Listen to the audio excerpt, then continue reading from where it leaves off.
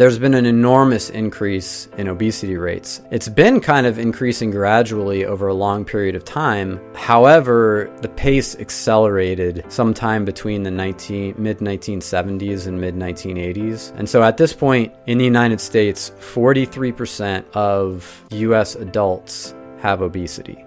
And that doesn't include people who are overweight. That is just people with obesity body mass index over 30.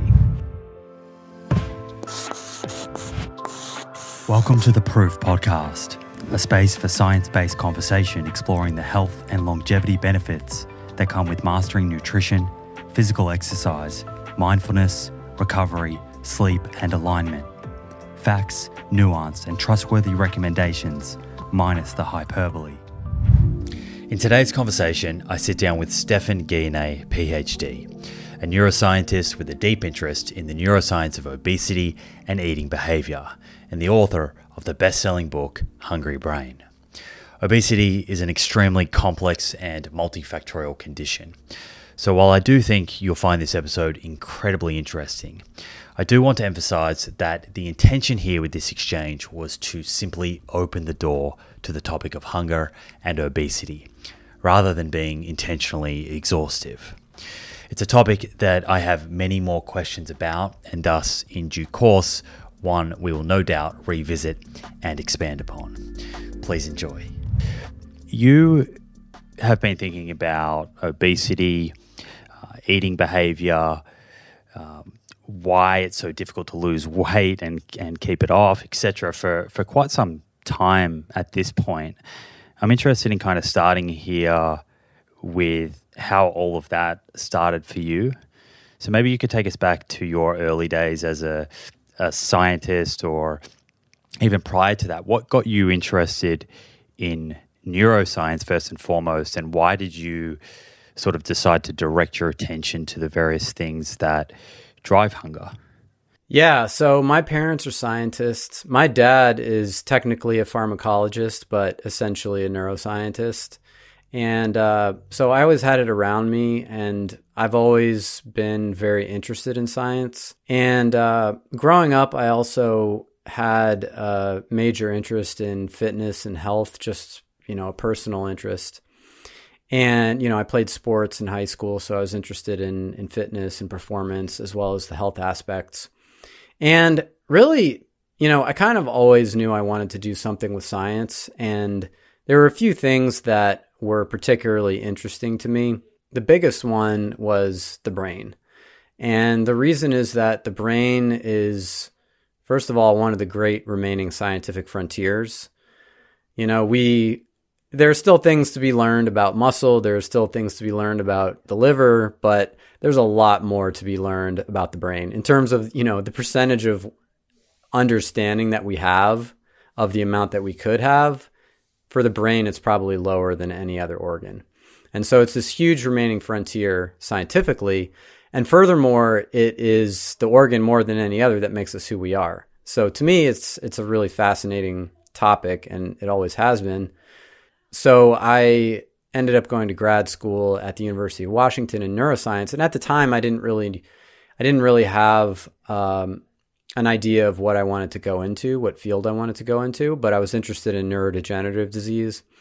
And so I worked in a lab for my graduate studies that studied a neurodegenerative disease called spinocerebellar ataxia type 7.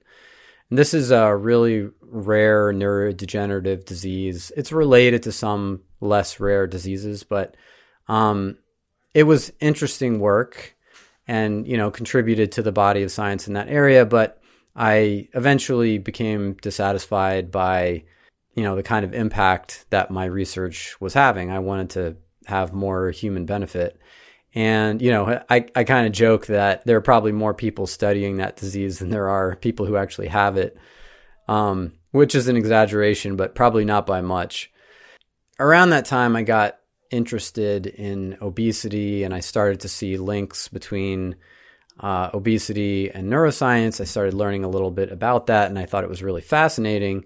And so I decided to switch topics for my postdoc and uh, I did my postdoc with Mike Schwartz, also at the University of Washington, studying the neuroscience of obesity, particularly brain, particularly regulation of body fatness by the hypothalamus, kind of what happens in that brain region when animals get fat.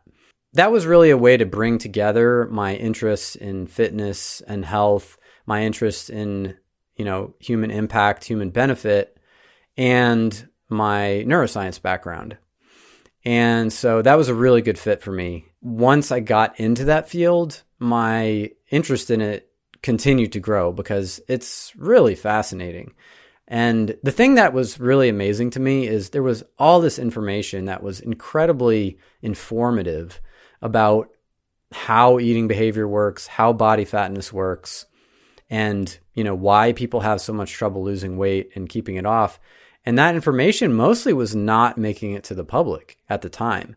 And so I felt like, you know, in our field, we had all this really cool information, really impactful information that people just weren't hearing about. And, you know, part of the problem with that is people aren't, you know, getting that interesting and useful information. And the other part of it is that that vacuum, that information vacuum kind of allowed all con- kinds of other harebrained ideas to proliferate.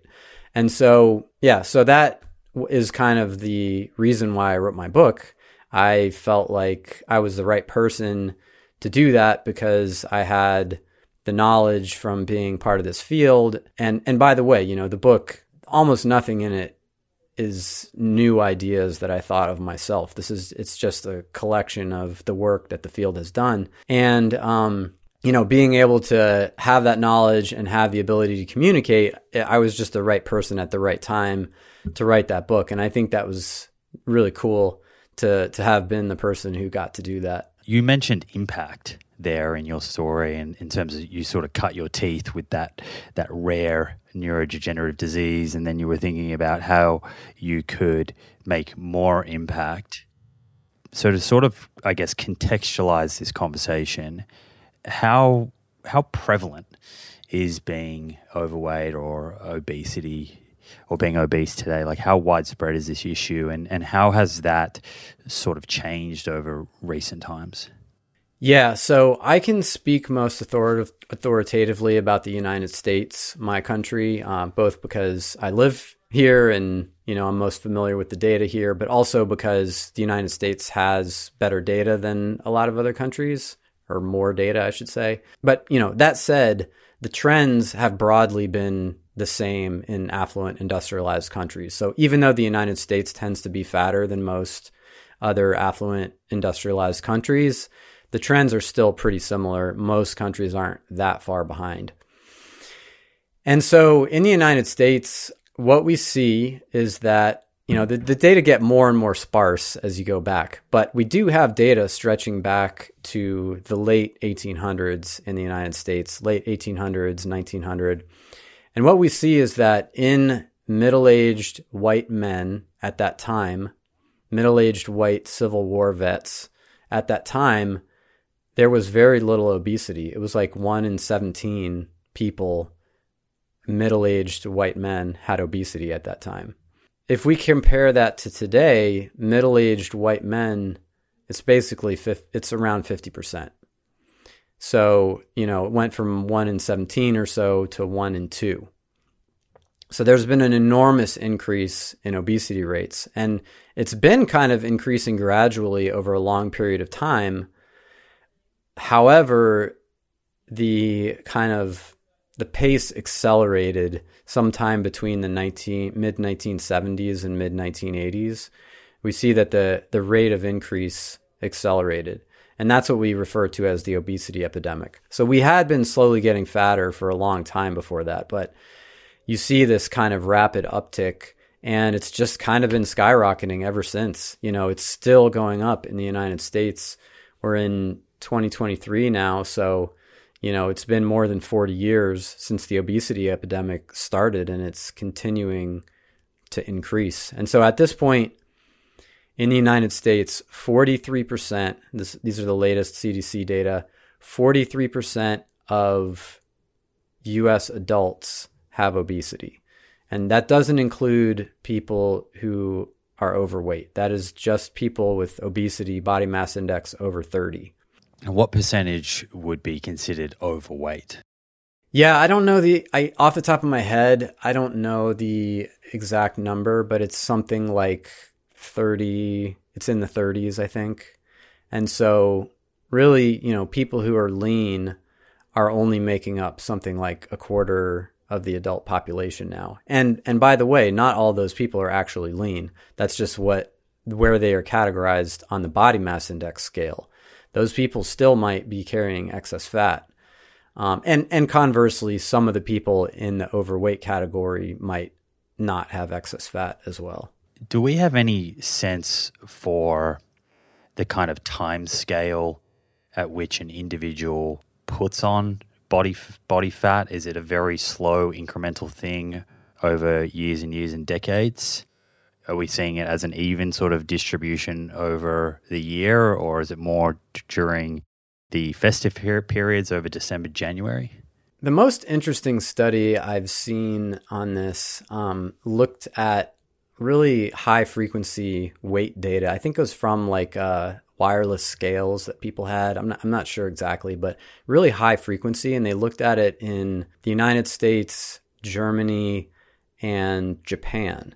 And those are three locations that both have temperate seasonality. So they have summer, uh, fall, winter, spring, yet they have different holiday periods. So they have different periods of fasting or feasting and celebration. So in the United States, we have this kind of six week holiday period starting with Thanksgiving, ending with the New Year.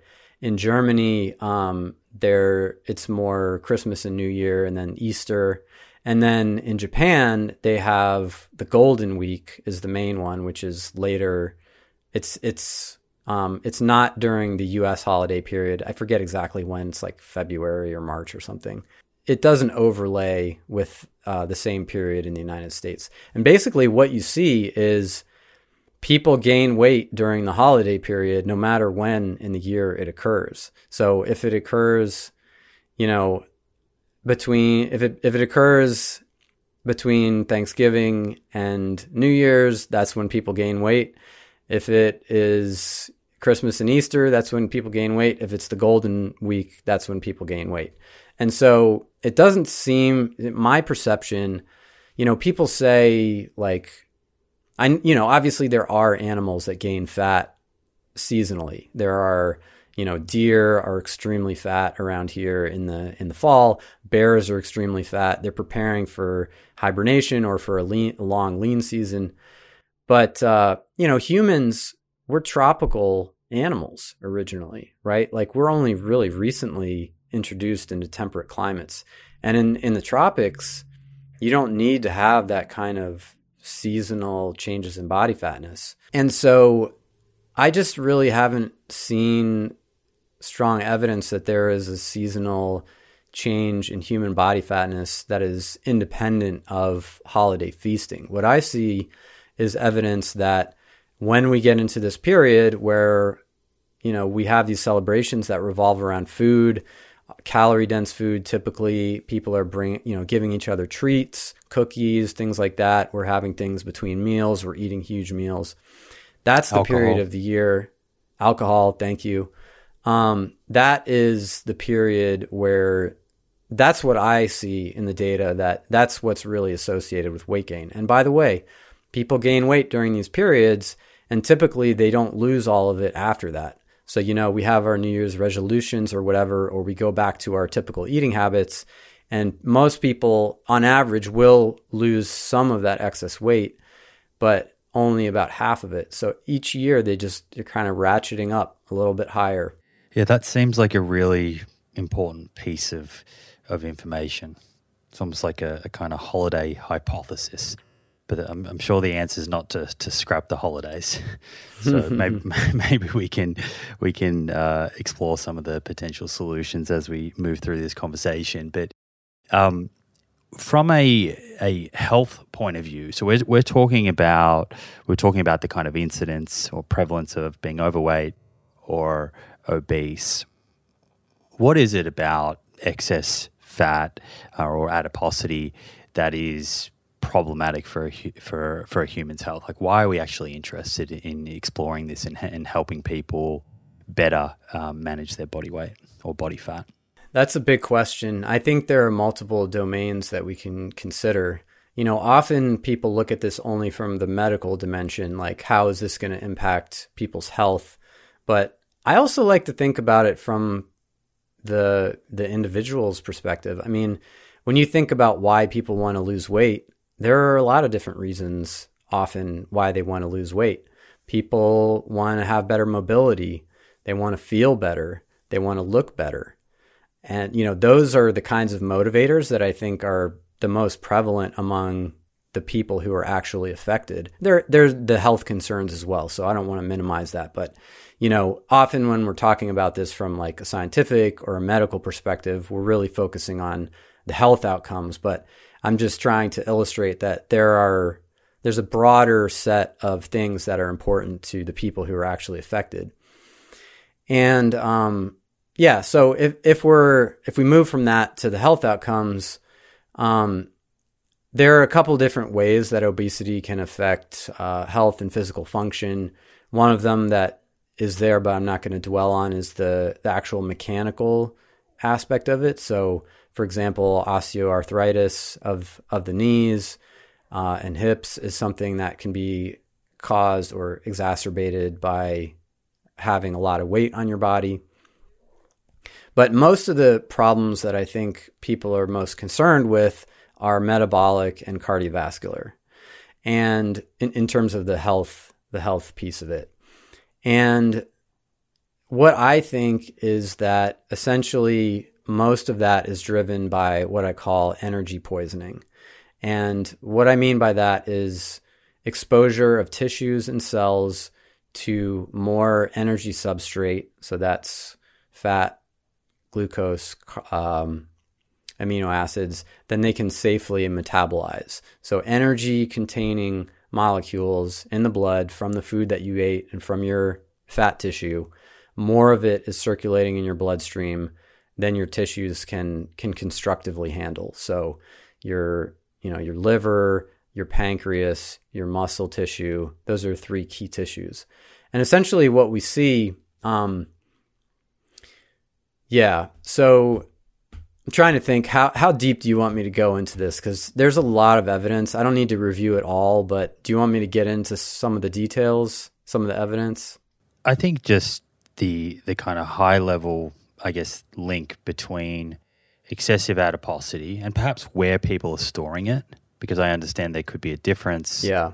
Whether someone is more preferentially storing that as visceral fat versus subcutaneous, and just so that the listener appreciates how that could increase their risk of, say, cardiovascular disease or type 2 diabetes or whether it's fatty liver or even certain types of cancer at a high level?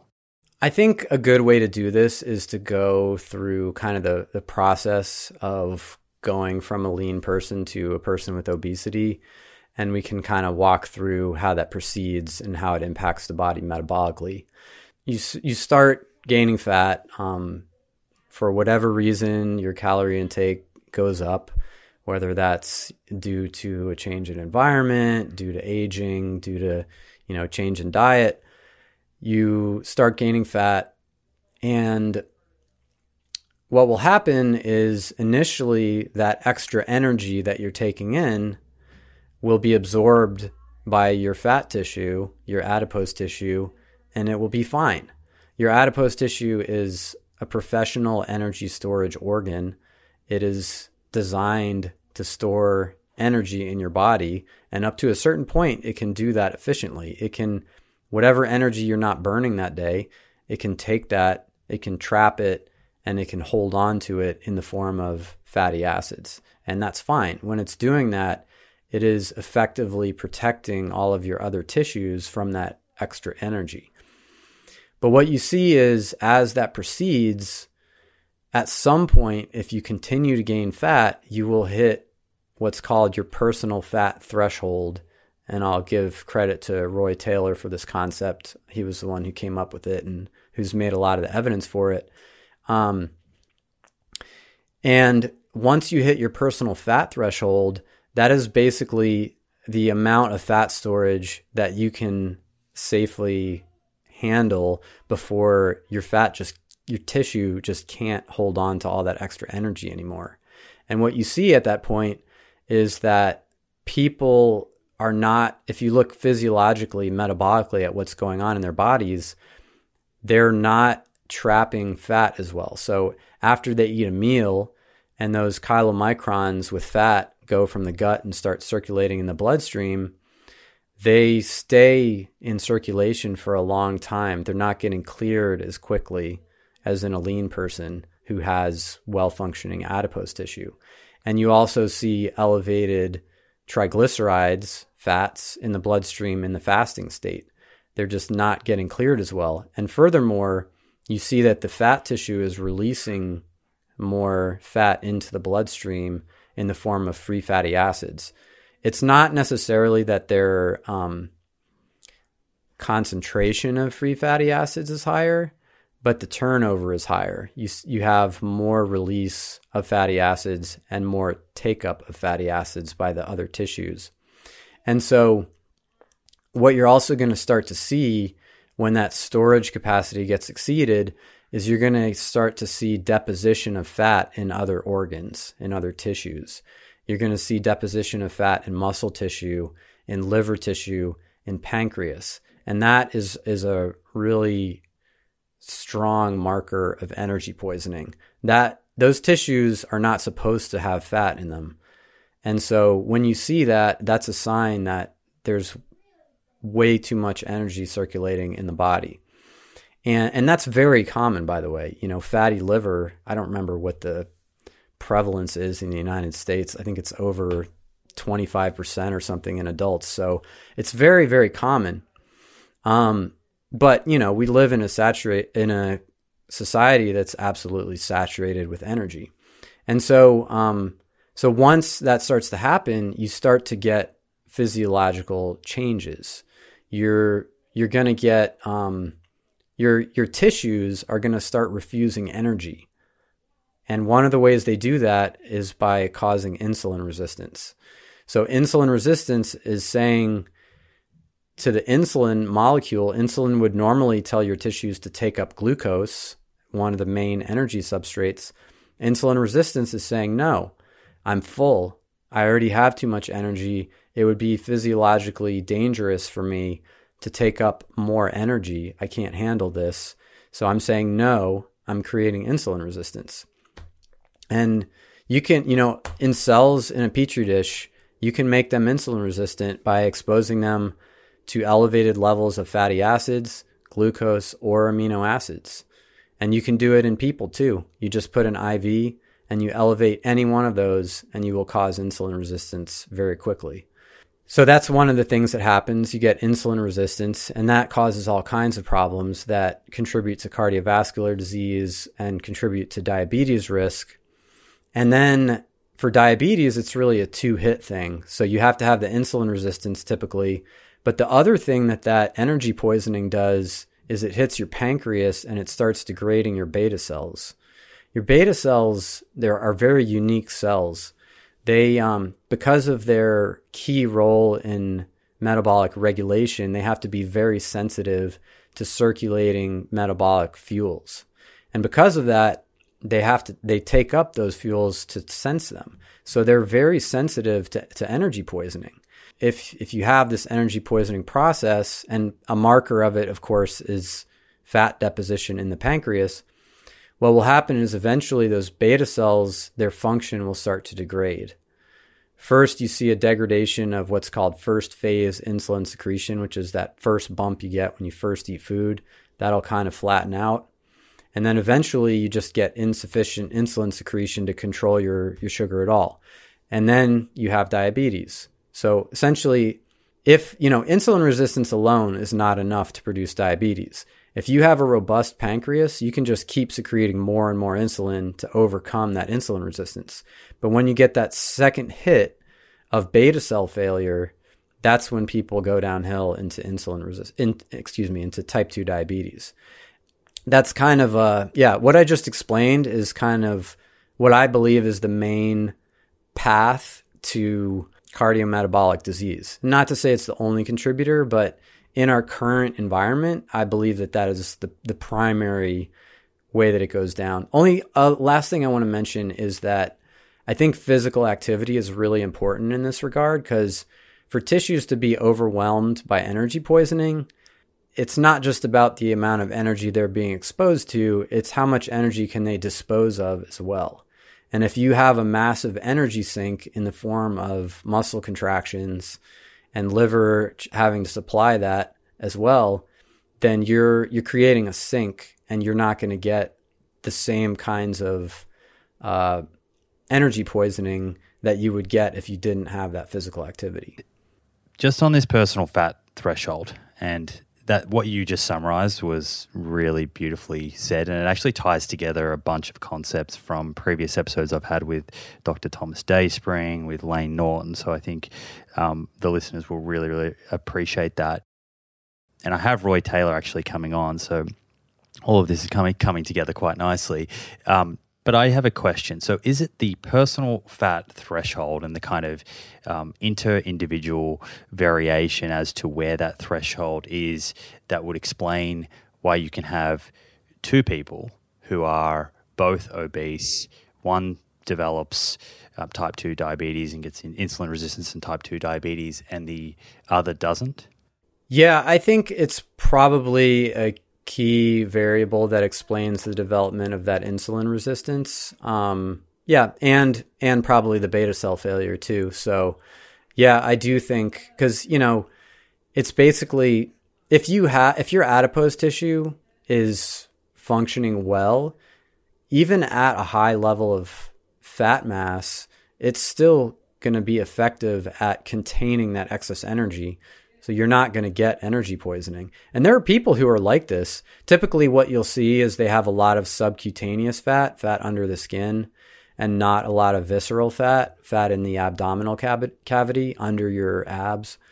And the the former category, the people who have a lot of subcutaneous fat, some of those people are actually quite insulin sensitive. So they just have a really high personal fat threshold. They can keep gaining, gaining, gaining, gaining, gaining, and it just never, well, I don't want to say never, but they just have a much higher tolerance for that before they hit metabolic consequences. And on the other side of things, you have people who have lipodystrophy, which is a condition where you actually can't put fat on. Your fat cells are just genetically dysfunctional.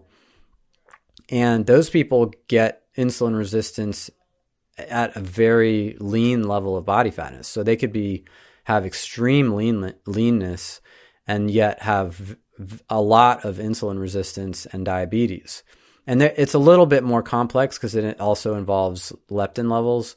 But I think that is an example of people who have as low of a personal fat threshold as you can get, and they are extremely susceptible to insulin resistance and type 2 diabetes. And then in the middle, you see that common genetic variation in the human population impacts uh, the likelihood of getting insulin resistant. So basically, genetic variation related to adipose tissue storage capacity. How good is your your fat tissue at expanding when it needs to expand? And continuing to hold on that fat, those genes are related strongly. That's actually the main genetic signal that relates to insulin um, insulin resistance in the general population. Does this uh, sort of tie into the idea of um, being sort of uh, metabolically healthy obesity? Is that something that that you feel exists that you could be obese and be metabolically healthy? I asked this question to a, previous um, guest of mine, Professor Susan Davis, and she she seemed to think that it doesn't really exist. But I understand that there are quite a few different views out there. I mean, now that you say that, now I'm now I'm questioning what I'm going to say because I I would be curious to know what she would say. Um, but I you know my opinion is yes, there are metabolically healthy people with obesity. Um, there are papers on this where they, you know, screen people with obesity and identify a subset of them, maybe five, maybe 10%, where you can do rigorous metabolic testing on them, like what's called a hyperinsulinemic euglycemic clamp, which is the gold standard measure of insulin sensitivity. And you can demonstrate that they're just as insulin sensitive as a lean person. And yet, you look at photos of them and they're very obese. I would say that, yeah, I think it can exist. I don't think it's it's certainly not typical. And the other thing is one one caveat is that you can be metabolically healthy today and not be metabolically healthy in 5 years from now. So, you know, I think obesity is something that predisposes people to be metabolically unhealthy in the future even if they aren't right now. So, I'd be interested in hearing what your other guests said um, but my opinion is yes, there are people, at least some people, who are metabolically healthy. And it, you know, probably a lot of it is genetics, probably some of it is physical activity and other lifestyle related factors. Yeah, I think in speaking to her about this, both on and off air, I think she was there's some overlap in the way that you're thinking about that. And she's mentioned you know, she feels there's a sort of transient nature, I guess and it can be hard when you look at something at a single point in in time. Um, going back to this idea of where you're sort of storing fat mattering, and you, you spoke about there's this different threshold, and really the problems arise when you get excess energy in the blood, you get excess energy being deposited into organs like the pancreas and the liver and muscle tissue, and then there's downstream metabolic, cardiometabolic consequences of this, if someone's kind of thinking, wow, I wonder, you know, where my personal fat threshold is, is, is waist circumference a kind of good way of, of gauging um, where you're storing body fat? Is that why waist circumference is used within the kind of metabolic um, syndrome cluster instead of BMI? Yeah, that's a good question. So, um, I don't have a quantitative answer for you, and probably Roy Taylor is a better person to ask this question. But yeah, I mean, it is part of the metabolic syndrome cluster, and it does correlate with insulin resistance. So, I would say, you know, having high abdominal adiposity, which is reflected in waist circumference, is yeah, that should correlate with um, being above or near your personal fat threshold. You know, I wanted to mention one other thing. I'm sorry to kind of barge in here, but there's one other thing that I think the audience really should understand. And that is that there, you know, the evidence that energy overload and excess body fat, excess energy intake are the are the main drivers of type 2 diabetes is incredibly strong. I just want to emphasize just how strong it is. We have massive randomized controlled trials, multi year trials with actual type 2 diabetes as the outcome, not surrogate measures, actual type 2 diabetes diagnoses, such as the Diabetes Prevention Program trial, that showed a 58% reduction in transition from pre diabetes to diabetes and uh, through a diet and exercise weight loss approach. And it was a, you know, pretty like old school calorie restriction, low fat diet. It wasn't that modern in terms of the intervention that they it was in, it was modern in terms of the intensity of it and the uh, the amount of interaction that there was with with the the researchers but um, not the diet itself was pretty old school and, you know, there are other trials, multiple other large multi year trials like this that have replicated that finding. There's also, you know, Roy, Roy Taylor's work has shown that you can take people who already have type 2 diabetes and have had it sometimes for years, and you can reverse that diabetes if you can get them to lose enough weight. And so he puts them on these really low calorie temporary low calorie diets for I think like a three month period. And then once they've lost weight, they try to keep them on a maintenance diet. Um, and then they can show that even after they're off this super low calorie diet at the 12 month mark, uh, a large proportion of these people, like over half, I think, if I'm recalling correctly, in the DiRECT trial, uh, actually no longer met diagnostic criteria for type 2 diabetes. So the evidence for this is incredibly strong. I mean, in terms of diet and lifestyle causation, prevention, reversal of a non-communicable disease, I'm I'm not sure that there's any other disease that we have stronger evidence for than type 2 diabetes. What are the the kind of long-term success rates? I guess um, when I say long term, and we may not even have that data, but I'm thinking out, you know, four, five, ten years. So following kind of extreme interventions like that that seem to have very high success rates, how able are people to keep that weight off and um, and stay in a sort of state of remission? Yeah, it declines sharply. And I don't know if you saw it, but just recently there was a, I think it was a five year follow up from the DiRECT trial. And caveat here is I haven't read the paper yet. I don't know what kind of maintenance intervention, if any, they had after the initial 12 month period. So I don't know whether people continued, you know, intensive weight maintenance efforts or whether they just kind of went back to their normal lives. However, I think if I'm recalling correctly, the top line figure was that about a quarter of the people who initially went into remission at 12 months uh, were still in remission. And so, you know, that's a pretty sharp decline over time in in the number of people who stayed in remission. And what you see is that most of them regained a lot of the weight. And so this is typical, you know, this could be an entry point into talking about the difficulty of losing weight and and keeping it off because you know, the DiRECT trial did a pretty good job actually of causing people to lose weight and maintain that loss.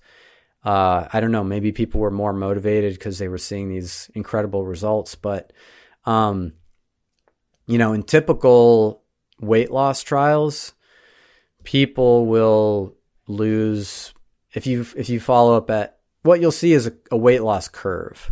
So max weight loss is usually around six months, and then they start typically to regain on average around that point. And by a year, if you weigh those people, and that this, you know, applies to almost any weight loss diet. I shouldn't say almost any. Applies to the more effective weight loss diets that have been repeatedly studied, I should say. What you find is that at 12 months, usually people have regained 50, 70% of the weight that they had initially lost. And then you follow them out for five or 10 years. A few studies have done that, including the Diabetes Prevention Program trial. You're going to see a gradual convergence between the weight of the intervention groups and the weight of the control groups that did not do uh, significant weight loss intervention. So, how do you kind of explain that? There's a bunch of questions I have that are coming to mind here, and maybe I'll make a statement and then we can work out which direction to to go from here. But um, I guess my my first kind of thought around what you just said there about the the weight loss at six months and then what happens after that is that the the body is kind of you know fighting its way back to get back to where it was pre intervention and I think that's interesting to explore um, if there's any sort of explanation for for why that may occur. Um, but I think people may also just be interesting, and this might seem like a silly, obvious question, but when the body has excess energy available, so we have become overweight or obese. And I think, you know, I'm, I'm sure you'll explain this from an evolutionary point of view, but you used the word design before. And if I was designing this system today in the food environment and the environment we're in, I would probably think about putting a negative feedback loop in there so that as you're laying down excess fat, in particular if you're starting to to detect excess energy in the blood and going into to organs, you're saying, okay, let's let's drive hunger down. We don't need to to seek out energy at this point in time. Um, So perhaps you can kind of comment, I guess, on the on the way that the that system is designed. What is the system that we have sort of inherited here? The brain, and in particular, a part of the brain called the hypothalamus, contains a regulatory system for body fatness. The first evidence of this was published in 1840. There was a woman named Eliza Moser who uh, developed rapid onset obesity. And uh, a German physician named Bernhard Mohr did an autopsy on her brain and found that she had a tumor in her hypothalamus. And today we call that hypothalamic obesity, and it's it's pretty well known uh, clinical entity. But that is the part of the brain that regulates body fatness, and when it gets scrambled, you the result is extreme o- obesity. And uh, so yeah, so we have this regulatory system, and it's really complicated. but I'll give you I'll give you a uh, a kind of like broad outline of it. It is a negative feedback system, so it it uh, so-called homeostatic or negative feedback system. Uh, the analogy I like to use is the home thermostat. So your thermostat at home has a thermometer in it and that measures the temperature in your home and then it compares it to the value that you've set in the thermostat, the set point. And let's say it starts getting colder in your house. Let's say you have um, your thermostat is set to I'm gonna I'm gonna do this in Celsius, 24 degrees Celsius, and uh, goes down to 23. Well, your thermostat detects that and it engages a response to bring that temperature back up. And the response is turning on the heater. And then as soon as it gets back up to 24, it, it shuts off. So that's a negative feedback or homeostatic system. And, you know, similarly, it could do protect against increases using air conditioning. And we have a system like this in our body that regulates body temperature to, you know, really precisely too. And it engages physiological and behavioral responses that oppose changes in body temperature.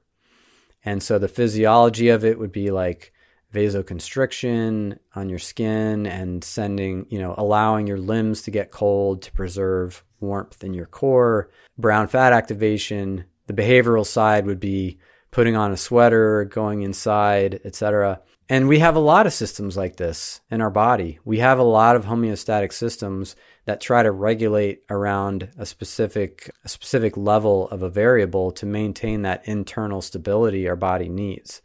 And you know, blood pressure, ion levels, uh, breathing rate, which regulates carbon dioxide and oxygen levels. And one of the things the brain regulates is body fatness. And it shouldn't be surprising. The amount of energy that your body contains is super, super important for your survival and reproduction, right? So the body cares a lot about this. The brain cares a lot about this. And so we have this negative feedback system, and there are a lot of different signals that converge on it. But one of the most important ones is leptin. And this is a hormone that's secreted by your fat tissue in proportion to its size. So the more fat you have, the more leptin you secrete. And that is the signal that your brain is measuring to measure how much fat you have on your body. So, in the same way that your thermostat measures temperature with the thermometer, your brain is using leptin to measure your body fat level. And once that body fat starts to drop if you're going on a diet, for example, that starts setting off alarm bells. You activate this homeostatic response, which, like the body temperature response, is a suite of physiological and behavioral responses. And so, and basically, it's trying to get more energy in and allow less energy to be burned so you get hungrier, you get more interested in food, your attention is biased toward higher calorie items. You have a reduction in metabolic rate if you lose enough weight. It's not just that your body is smaller, per unit mass, you're actually burning less per unit lean mass. Your body's just kind of turning down metabolic rate. But the main thing, the main lever is the food intake, the energy intake. That is the main lever that the brain is using to, to regulate body fatness. Yeah, so we have the system and, you know, it evolved a long time ago, probably, you know, hundreds of millions of years ago, probably more than 100 million years ago the system was probably mostly in place. It's kind of the one of the tiers of the body's energy regulation system. And it's very important for your body to have enough energy so that you can survive, so that you can reproduce.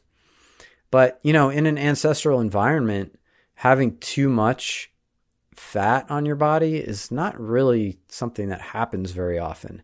I mean, if you think about the ancestral context, people were basically their full-time job was getting food. If you have to do all that work to get your food every day, you know, if you're well enough fed, why would you want to go out and do all that extra work to work 5 extra hours to get more food? Even if it was available, it just doesn't make sense from a cost benefit perspective you know, and if you look at hunter gatherers, obesity is like, as far as I can tell, basically non existent.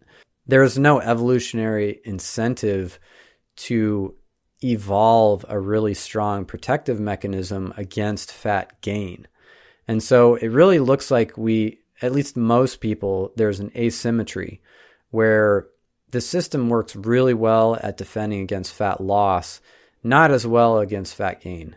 That said, it does defend against fat gain to some degree and in some people more than others.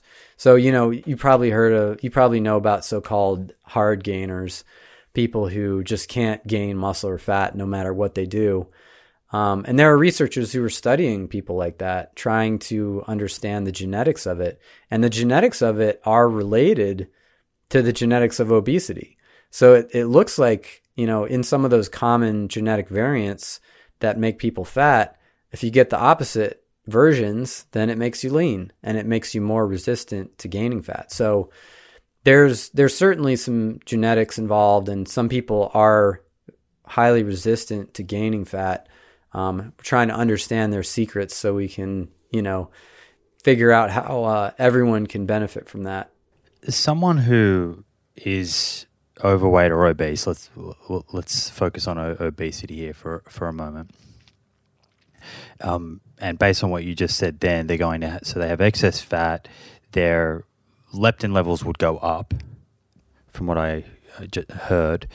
Um, my initial thought or rea- response to that would be that their desire for food should be less than someone who has less body fat but that's not always the case, from what I understand. So, so what's happening to, I guess, the in in the brain with regards to receiving this information via leptin and down regulating hunger? So, I think we need to really carefully parse this word desire to answer this question. Um, but before I get to that, there's actually a really important piece that I left out to my previous answer that I just want to make sure to, to add. People with obesity, what we see is that their set point appears to be increased. So their set point is at the obese level. And so that is seems to be a key reason why it's hard to lose weight is when you start to lose weight, you start setting off those alarm bells associated with the starvation response. And then you're having to fight this these non-conscious brain regions that are activating this behavioral and physiological response trying to get you to regain that fat. So it's this it's a very similar response to weight loss that we see in people with obesity and in lean people. So that's kind of the cruelty of this thing is that once you get up there, it's really hard to get back down. It kind of locks you in. That's what appears to be the case. And I don't know why that is. I don't know what the evolutionary, you know, reasoning for that is, but just appears to be the case. So coming back to this issue of eating desire in people with obesity versus lean people, I think, you know, that word desire kind of covers a lot of ground. And so I think it would be helpful to dissect what um, that could mean. So, if we look at it from an energy balance perspective, people with obesity generally eat more calories than people who are lean. So, on average, if you're matching sex and age and roughly physical activity level, people with obesity will typically eat somewhere from 20 to 35% more calories per day than a lean person. And so, you know, there's some kind, they are eating more, they are engaging in more eating behavior. So there is some kind of motivation on some level that is causing that to happen, right? Um, and so whether that corresponds to the word desire, I think, is another question. And I think that there are multiple reasons why you could imagine a person's calorie intake could be higher. And I think probably it's a combination of, of things, with some people falling more into one category, some in another category. So, the two big buckets that I like to think of that drive food intake one is homeostatic eating. So, this is eating because your brain perceives that you need energy. So your brain, it's it's like hunger would be uh, a way to put it. So your brain thinks that you have an energy deficit and it is trying to correct that energy deficit. So that's like you feel hungry, you would eat just about anything that has some calories in it. You're not feeling picky, but you're just feeling hungry. You want to eat some food. And then on the other side, we have non homeostatic eating. And this is kind of a catch all term for all the other reasons that we might eat. So there's reward driven eating where a food is really seductive and we're eating it. We might not be that hungry. Maybe it's the end of a meal and the ice cream comes out and suddenly, okay, we're ready to eat some more calories. It might be we're drinking a beer. You don't drink a beer because you want because you're hungry. You want the pleasure value of it. It might be because we're, you know, it's noon and we always eat at noon, whether we're hungry or not. So there's a lot of different things that can fall into the non homeostatic eating category. And so I think that different people have different contributions from each of those. So some people are consuming excess calories because they just are hungrier. They have a higher, just hunger based desire to eat. And we see in the genetics of it, we see that common genetic variability, some of it is related to the body fat regulation systems and the appetite regulation systems in the brain. Things like melanocortin and leptin receptor. Yeah, especially the melanocortin pathway, which is part of the leptin signaling pathway. And so there are, I believe, people who are just hungrier and that causes them to eat more. And probably a lot of those people were born hungry, you know? Like they just genetically have a higher desire to eat food in the homeostatic sense. And then on the other side, you have a lot of variability in um, reward driven eating. So, uh, Leonard Epstein has done a bunch of work on this where they um, they use this concept called the relative reinforcing value of food. So essentially, they have people play these little video games. It's like a gambling game on a computer screen, and they're uh, they have to do a certain amount of work, like do a certain number of clicks to get a reward. And that'll be like a little candy bar or some soda, stuff like that. And critically, they feed them a snack before this experiment. So the people are not hungry. They're not like feeling like they need to eat something. This is really desire for a highly uh, seductive food.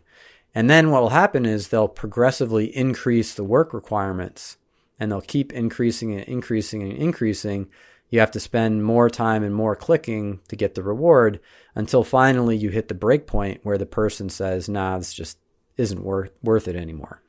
And they do that for food items and for non food items. And they say, how hard is somebody willing to work for these seductive foods relative to a non food item like a magazine or something. And what you see is that that relative reinforcing value of food, that ratio I just described, varies tremendously between people.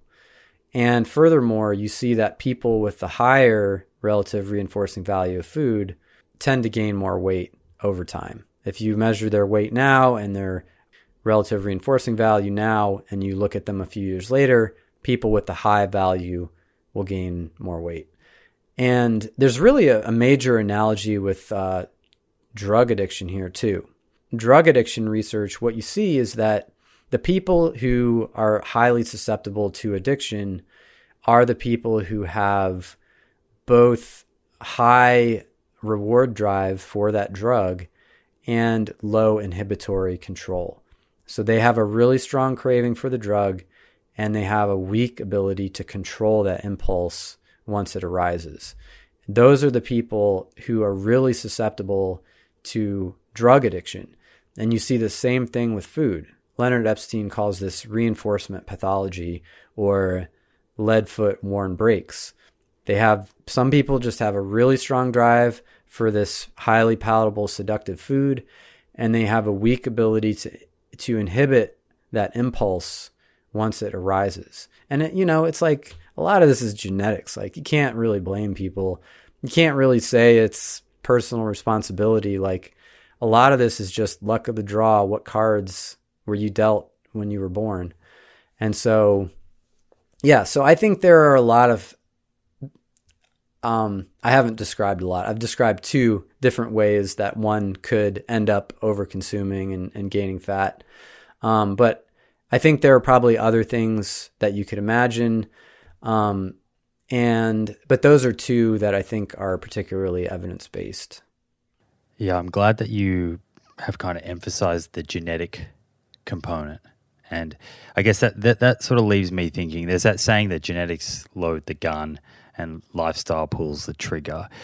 And it sounds like, f- with regards to obesity, some of us have a more loaded gun than than others, which is affecting whether it's that homeostatic um, sort of eating or some of these more reward based kind of desires with the seductive foods. So, would you posit that if uh, there was a way of going back 10,000 years and, and getting one of our ancestors and bringing them into today's environment, that many of them would have the same struggles? I think if you took our ancestors, let's say yeah, you could take them at birth. It would probably be even worse if you took them at, you know, adolescence or adulthood because at that point they would already have all of their behaviors and norms stamped in that are appropriate for their environment. And what you see in hunter gatherers is they absolutely stuff their faces when they have the opportunity to. And there's no, it's really interesting because now we have these concepts of this concept of gluttony, and that gluttony is a bad thing that we shouldn't overeat, and we feel guilty about it, and we think about it. If you if you look at hunter gatherers, at least according to the anthropologists I've spoken to, they don't have any concept like that. Stuffing your face as much as possible is good in their context. That's what you want to do if you have the opportunity to get calorie dense, to easily get your hands on calorie dense, easily digestible food, you should eat as much of it as possible because that means you won't have to go out as much tomorrow and maybe you you know you're not going to come across something like this every day. So basically you know so for example uh, some of these anthropologists described to me hunter gatherers eating five pounds of fatty meat in a sitting or I think it was 30 oranges that are wild oranges that are basically similar in size and sweetness to grocery store oranges in the Amazon and just drinking a liter of honey. So, I mean, when they had the opportunity, they would absolutely stuff their faces and it was good for them that helped them to survive and reproduce. And so, you know, imagine a person with those kinds of social norms now gets put into the into the modern industrial environment and doesn't have any of the culture, any of the inhibition around, you know, viewing gluttony as bad. And then he walks into the grocery store.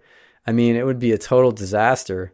But I think, you know, the genes as well, which I think is what your question really was about.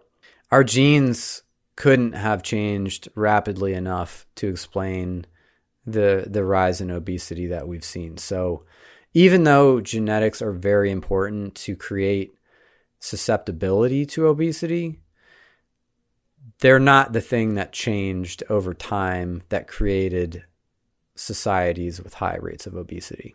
Speaking of hunger here, I did want to ask you about the carbohydrate, insulin, and energy balance models, two uh, opposing models that different researchers have put forward to explain what they think is leading to overconsumption of calories and obesity.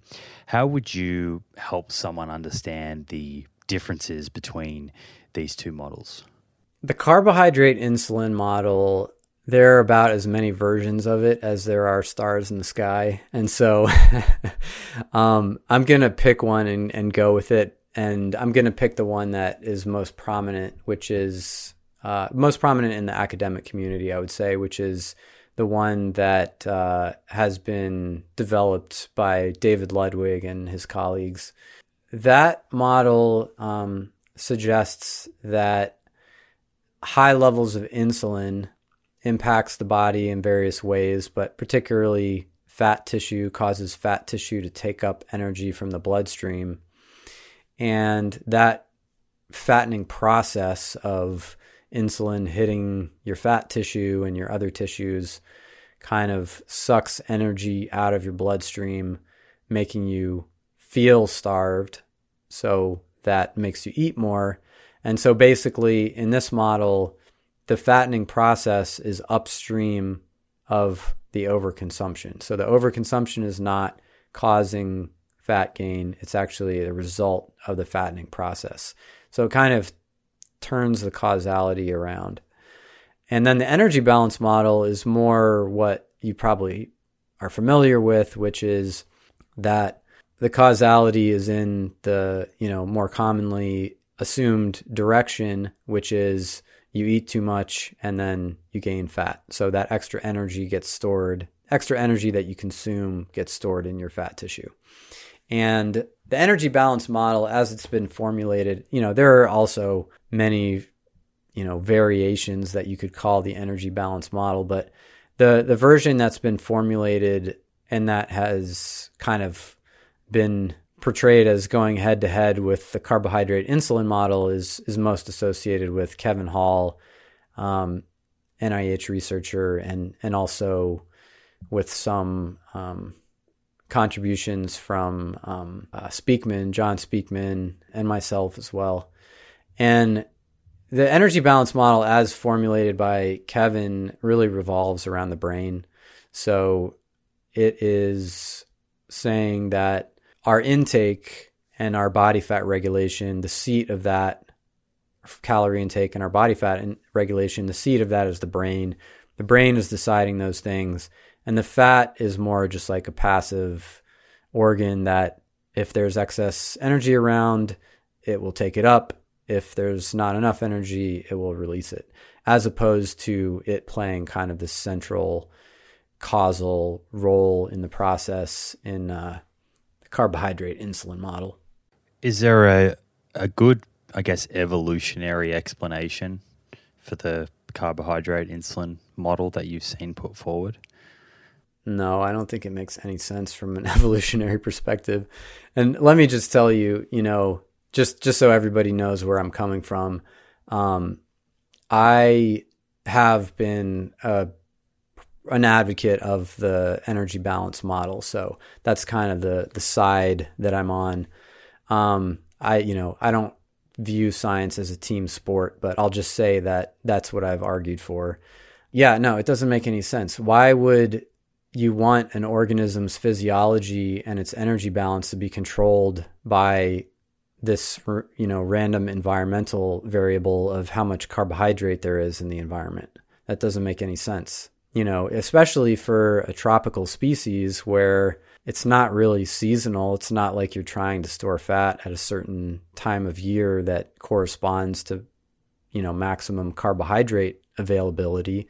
That could be argued for temperate climates, but we're a tropical species. At least originally we were tropical.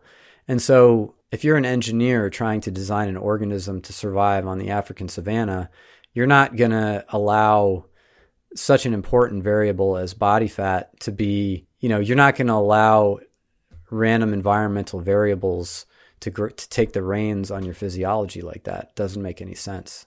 So, if we look at obesity through the lens of the energy balance model and then start to think about the, I guess, energy balance equation of the energy that we're consuming, what we're expending, and consider current lifestyles and and the different sort of drivers or, or different things that could affect that equation.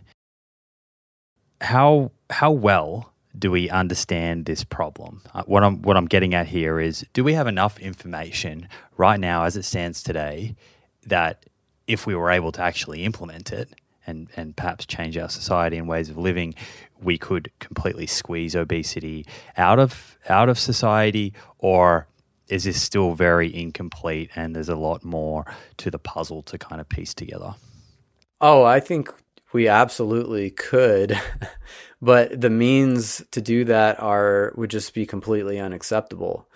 Um, you know, like if you put a gun to my head and told me to reduce my calorie intake by 30%, I could do it and I, you know, I would do it and I would lose weight.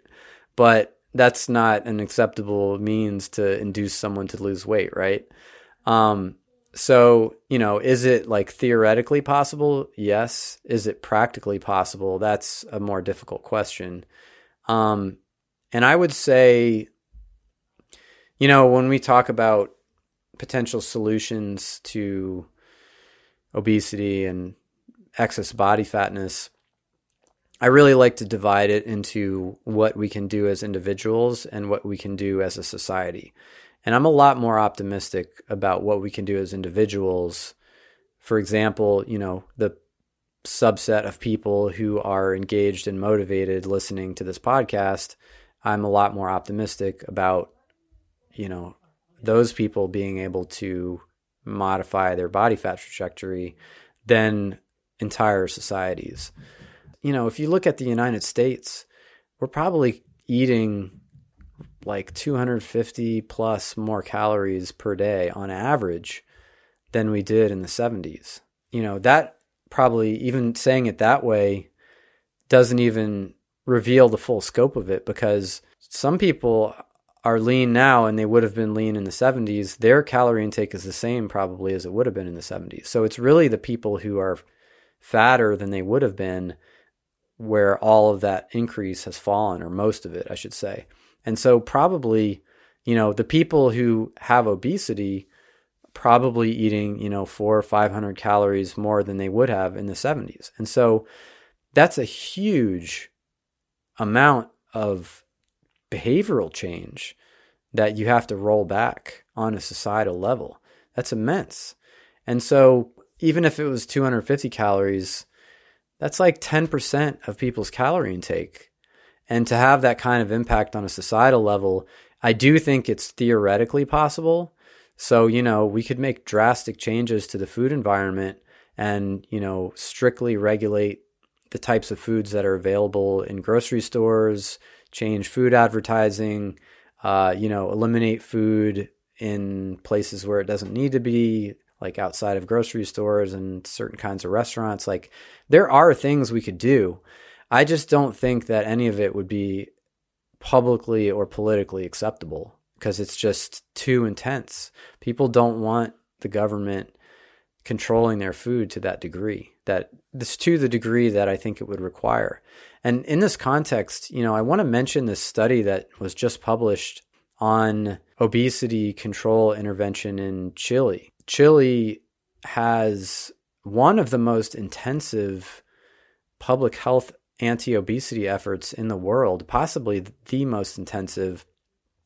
It involves controlling food advertising to children, it involves these pretty intense front of package warning labels, related to calories and salt, saturated fat, and sugar. And it involves regulating school, the food that's available in schools. All that, you know, very logical, makes makes good sense to me. But if you look three years into this intervention, the data on weight change are not very impressive. Young children are continuing to gain weight, become more obese, and then there might be some signal in adolescence. Maybe they have the prevalence may have in, decreased a little bit of obesity, but overall, not a very encouraging picture. And that's basically the best that has been done on a societal level so far globally. So I think societally, it's a pretty grim picture. You said theoretically it could be done, and you, you also spoke to the excess calories that people are now consuming. So perhaps we drill, drill in on that. I'm interested in, in terms of if you could change the environment, what would you target? So if you jump on Twitter, you might see one person pointing the finger at seed oils and they'll show a graph and seed oils have gone up and, and as has obesity, right? So there's a, a, a correlation there. But then the next person might show sugar, uh, sugar. and then there'll be a conversation around uh, ultra processed foods and, and hyperpalatability. What have you kind of settled on as to what are the, the primary drivers or changes in the, the food environment that would be leading to the excess calorie consumption? Yeah, this can get really complicated, and I think that it um, can also get really controversial. And so I like to take it back to the basics, to the real basics, and ask the question what can you feed to animals like rodents when you have complete control over their diet and their environment? what's the most fattening thing that you can give to a rodent? And the answer is human, ultra processed, calorie dense food. So if you take just a group of normal rats and you give them a variety, and the variety itself is important too. You give them a variety of calorie dense, highly palatable foods. Anthony Sclafani first did this in the 1970s. And on top of that, you give them healthy pelleted rat chow, the kind of thing that's actually good for them. They will ignore the healthy pellets and they will stuff their faces on the calorie dense, highly palatable, ultra processed human food. It you know, it doesn't even have to be ultra processed. It's more like calorie dense, highly palatable. Some of it's ultra processed, some of it would not fall into the ultra processed category, Nova category. But you know, things like cookies, salami, chocolate, uh, French fries, uh, sweet breakfast cereal, sweet condensed milk. They'll completely ignore the healthy food that would keep them lean and healthy if that's all they ate. And they will stuff their faces on this delicious human food. And it's not just rodents. Like you know, you look at animals in tourist spots like raccoons and monkeys, they often will get tremendously fat eating human foods. You look at bears who raid human garbage cans can can get very fat. So it's not just rats.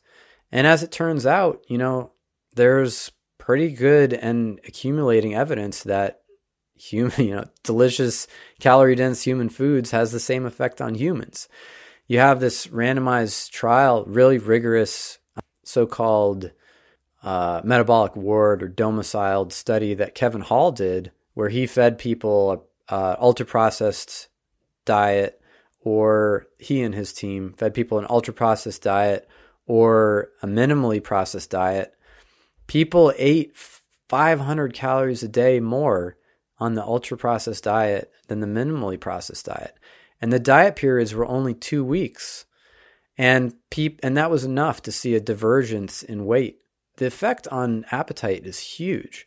And another point I want to make here that's really critical: you can't replicate this effect by only modifying one thing. So you cannot make rats as fat as that by just adding fat to their diet.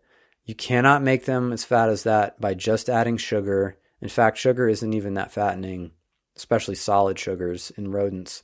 There's nothing you can do, nothing to a rodent pellet that will make it as fattening as a constant buffet of highly palatable, calorie dense human foods. The same is true in humans. Sugar, you can modify sugar, doesn't do it. You can modify fat, doesn't do it. You need that whole collection of properties that are present in those foods. So, what's happening? Is there a potential explanation for what's happening in the hypothalamus and in the brain that is distinct between, say, you know, I think most people could appreciate it, you probably could, but it'd be difficult to overeat a lot of calories of butter. You'd probably just start feeling sick, right? And similar story if you just ate straight sugar. But when um, are the re- reward centers, I guess, for or or where we're sensing fat and sensing carbohydrates in the brain, are they separate? Does something um, happen when we combine these that then leads to what you're describing as delicious or hyperpalatable? The brain is hardwired to respond to certain um, stimuli, certain goals that would have been valuable to our ancestors. And we describe those as the technical term is unconditioned stimuli. Brain is hardwired to want those, to respond to those. And there are certain food properties that are unconditioned stimuli. So, fat, carbohydrate, sugar and starch, salt, protein, and glutamate, which is that meaty umami flavor in soy sauce and cooked meat and other things. And those things, the brain is wired to have a motivational response to those, and that involves dopamine spiking in the brain. So, dopamine generates that motivational response and reinforces behaviors related to acquiring foods that contain those nu- those nutrients. So you get that and with all foods. This is not I'm not saying this is a bad thing. This is a very natural process. It can just be overstimulated. And so uh, but what seems to happen is that you get uh, the highest, the greatest response when you combine those dopamine stimulating nutrients. So, particularly combinations of carbohydrate and fat. And that can be either in the savory realm, like French fries, or it can be in the sweet realm. So the, the savory realm, that would be fat and carbohydrate and salt. And then the sweet realm would be the fat and sugar together, and sometimes salt. Um, so like cookies or cake or ice cream. And those, what you see, you know, we don't have like nobody's stuck a probe in a human brain and measured dopamine um, to see how high it goes. But what you do see is that when you do surveys of the types of foods that people typically have the strongest cravings for, and again, we're not talking about hunger, we're talking about food specific motivation, cravings. So that's more of that, you know, seductiveness, the dopaminergic response. Um, and also addiction like behaviors towards specific foods. If we look at surveys that ask people which foods do you crave the most, which foods do you lose control around the most, what you see is that the ones that rise to the top as most common are these combinations of fat and sugar. Things like chocolate, that's the number one most craved food. Chocolate also contains a habit forming drug that activates the same dopamine signaling pathway and um, you know things like cookies and and pizza and um, and many other foods. But you know, a lot of the foods that are common in our diet are you know we don't think of them as ultra processed foods or you know anything unusual, but bread and butter and jam, you know that has that's that's a pretty palatable combination and that's got the sugar, that's got the fat, it's got the starch, got a fair amount of salt. Um, so it doesn't have to be necessarily an ultra processed food, but I think it's the type of thing that you tend to find in ultra processed food because, you know, they're making it to be as rewarding as possible. So they're going to max out how much dopamine, they're going to try their best to max out the amount of dopamine that is secreted when you eat that food because that's the thing that gets you to come back and purchase it and and consume it again. Is there overlap here? It sounds like there could be a couple of things going on. Um, I'm sure you're familiar with the sort of protein leverage hypothesis. Uh, I think David Raubenheimer and Stephen J. Simpson have put that forward. Um, and in fact, I know they have. And my understanding of that is that we, you, you just described it before, but we have these kind of different appetites for different nutrients that are required, and that their hypothesis is that the strongest appetite is for protein. And that in a a protein dilute environment, so where you're adding a lot of these foods you're talking about that are rich in fats and carbohydrates, but perhaps lower in protein, that will will continue to have an urge to consume those foods even above our energy requirement in order to satisfy the protein requirement. Um, what's your kind of, I guess, view on on that hypothesis and how that may play into this? Yeah, they've got a lot of cool data on this and done some some really interesting experiments in all kinds of different species, all kinds of bugs. I think that, you know, it's clear that protein is very important. It's this substrate for the physical structure of our bodies and you know, the physiology of our bodies. So obviously it's a very important nutrient for you know, physiology and for natural selection to act upon.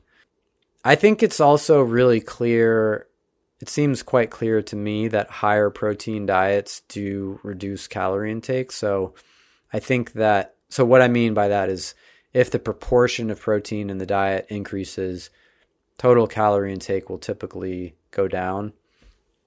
And I think that that is consistent with their protein leverage hypothesis. Um, where I'm not as convinced is on the lower end. So I haven't seen really good evidence that reducing protein intake in the long run causes people to eat more and gain fat. And in fact, you know, you look at demographics in the population who might typically have a lower po- uh, protein intake, like people eating a vegan diet and they're usually leaner, not heavier. And so, I don't know, it doesn't mean it's wrong necessarily, but I think I guess I would place less emphasis on that than they do, um, on in terms of how much of the variation in calorie intake and body fatness it explains. I would place less emphasis on the kind of like not getting enough protein side of things, the importance of that. The other thing that is kind of perplexing is, you know, if you look at their experiments where they show this protein leverage effect, they are creating a situation where animals cannot choose how much protein they're eating. So to to kind of create to, to observe these protein leverage effects, there they'll offer an animal a food with a fixed amount of protein. So they can't pick and choose. They can't just add extra protein by eating a different food, uh, you know, depending on the experimental setup. But, you know, that's the scenario where animals will overeat to get protein is when they have a food that has a fixed amount of protein, that's all they have available. And so they have to overeat to get that extremely valuable protein. But, you know, living in the modern food environment, there are tons of high protein foods available. So what's puzzling to me is why people why I mean why would they increase their calorie intake to get enough protein when they could just you know eat more beans or or eggs or whatever. Um, so it's kind of puzzling to me like why if this is how it works why the regulatory system would not take this extremely obvious you know way out of the problem. Quick one. A lot of people ask me for tips on buying supplements and getting blood tests. I've created zero cost guides for both of these, which you can download from my website, theproof.com. Coming back to, to fats and carbohydrates and hyperpalatability. So, if we think, I guess, uh, ancestrally, um, I wonder if you've ever thought about do you think many meals had both fat and carbohydrates, or do you think that our ancestors were sitting down and having a meal that was mostly fat, and then later on they would sit down and or at another time in another season mostly carbohydrates, and so and so they were separated. So if someone's listening to this and just thinking about their meal construction, how important do you think it is thinking about that combination? Like if we get a lot of sweet potato and then put a, a nice high fat sort of dressing over the top of that, is that going to lead to excessive calorie consumption? So I think we can decompose this into two separate questions, which one is eat, eating the effect of eating a food item that has carbohydrate and fat. And the other one would be eating separate food items at the same meal that have carbohydrate and fat. And I think um, so you know there are probably other people who could answer this question better than me people with more you know experience living well i have no experience living with hunter gatherers i just know from reading books and speaking with anthropologists so you know i'm not like i don't have the deepest knowledge about you know the intricacies of hunter gatherer meals but from what i've read i think they often do have carbohydrate and fat at the same meal but they're not as often consuming them in in the same food item. So there aren't a lot of foods in nature that already have fat and carbohydrate. It's insignificant quantities. Really, the only one I can think of off the top of my head is nuts. Nuts can have fat and carbohydrate, but usually they're pretty heavily biased toward fat. But yeah, and you know, you look at the Hadza, they ate honey, but they didn't usually mix it with anything. They usually just kind of ate it on the spot, plain. And they would bring it back and share it and eat it plain. So, you know, I think when you're a hunter gatherer and you don't have a kitchen with a stove and countertops and uh, you know all kinds of spices and oils and sugars and things you just keep it simple you just put food in your mouth and chew it and that is a much simpler experience than what we experienced. You know, most of these cultures don't even have salt. So I think um, having foods within a meal that combine carbohydrate and fat within individual foods, I think in terms of the seductiveness of individual foods, I think that is the main problem or that's a key problem. I say problem depends on what your goals are, whether you're trying to, you know, lose or gain weight, but in terms of overconsumption, that's a key problem.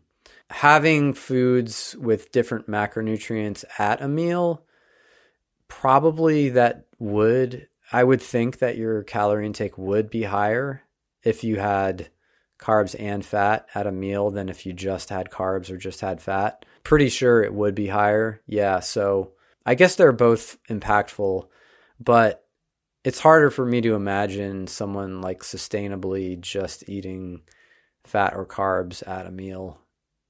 It seems maybe harder to pull off and not as necessarily as ancestrally consistent.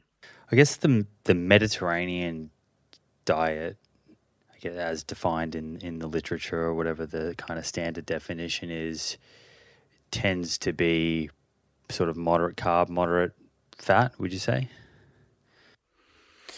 Yeah, I think that's right. Yeah, and and that diet's not particularly associated with overweight or obesity. I think it probably depends on what you compare it to. I so I think that when you look at rodent studies and you look at human randomized controlled trials, basically what you see is that the zone that is the most fattening is having abundant amounts of both fat and carbohydrate in the diet. The zones that are the least fattening are on either extreme. So either low carbohydrate, higher fat, or uh, lower fat, higher carbohydrate. So the extremes you know, whether we're talking about rodents or humans, the extremes tend to promote leanness, the middle tends to be more fattening. That said, you know, macronutrients are not the only determinant of food intake and body fat is. So, you know, the Mediterranean diet tends to be a more unprocessed type of diet. I think that's that's important too. So, you know, I don't think the Mediterranean diet is a particularly fattening diet. I think it probably is slimming relative to I think it certainly is slimming relative to, you know, let's say the average American diet.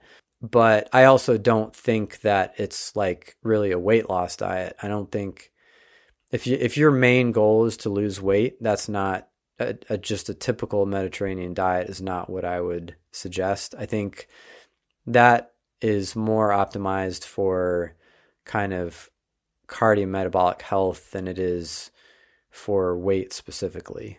I've had uh, Christopher Gardner on the show a few times, and we've explored the landscape of low fat versus low carb, and he's kind of conveyed um, the results from DIETFITS and, and I guess the literature broadly, where um, on average there doesn't seem to be a sort of significant difference in terms of weight loss outcomes for low fat versus uh, low carb. The interesting um, thing from DIETFITS, and it's a question I haven't asked anyone, so I'd be I'd be keen to hear your thoughts on it.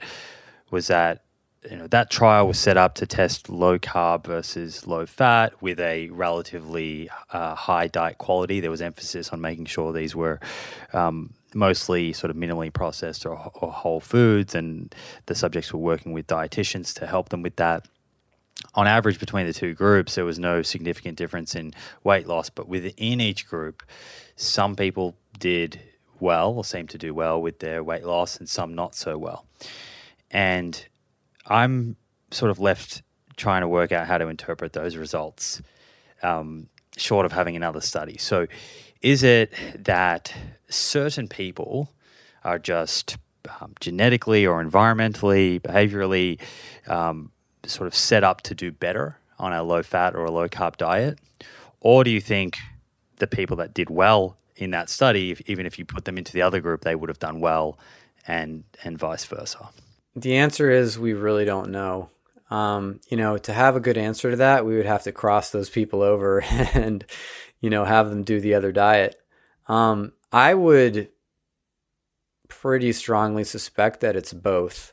That some people just have an easier time losing weight on any diet, and then some people do much better on one diet versus the other. And and I don't have any hard evidence um, to uh, to to support that with. That's my intuition, but it's based on the fact that those are both very plausible. You know, some people have tried a million diets and they can't lose weight, and other people seem to lose weight more easily. And uh, and then we notice just anecdotally that some people will say, "Oh, you know, I tried." A low fat diet and it didn't do anything for me, or I gained weight and then I tried a low carb diet and it was awesome, or the reverse. I actually, you know, I think what I just said is the one that I think people will hear most commonly, but I get emails like semi regularly from people who are like, man, I'm so glad. Thank you for, uh, you know, your work uh, critiquing the carb insulin hypothesis. It allowed me to like try a low fat diet to like kind of open my mind to the possibility that carbs aren't so bad. And I I actually was gaining weight on a low carb diet. I switched to a low fat diet and now I'm losing now I've lost that excess weight and I'm getting back down to where I want to be. So I'm not saying that's typical, but I am saying that that does happen. Yeah, so I would I would guess and again, no hard evidence. But I would guess that both of the things that you said are operating there. And just to be clear, you're you're not saying that a low fat diet is superior to low carb or low carb diets can't work. You're saying you think that when a low carb diet works, it's explained by the energy balance model, not the carbohydrate insulin model.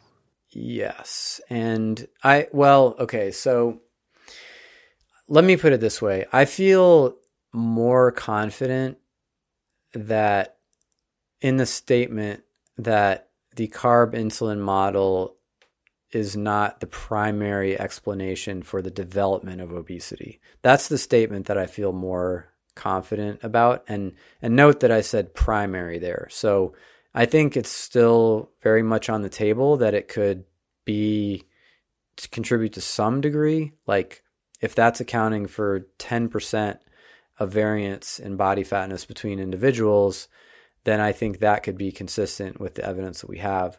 I just don't think it's accounting for, you know, 70% or 100% like some of its advocates seem to believe. Now, in terms of the weight loss on a low carb diet, I'm I'm less confident there about the role of insulin, but I will say that, you know, it can't be all about carbs because if it was, you wouldn't see weight loss on the other side of the macronutrient spectrum. So you need to have a hypothesis that explains weight loss on low carb diets and weight loss on high carb diets. That hypothesis is not the carb insulin model.